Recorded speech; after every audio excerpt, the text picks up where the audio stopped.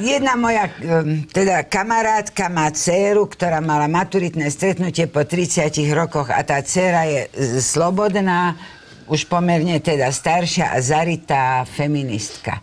A bola na tom stretnutí Však po slobodná, 30 no. rokoch a začala sa e, tak pritulovať k svojmu spolužiakovi a on to nakoniec pochopil tak, že ju poboskal a keď ju poboskal, tak ona začala jačať. Zmenila sa Bola som žabu. znásilnená do tváre.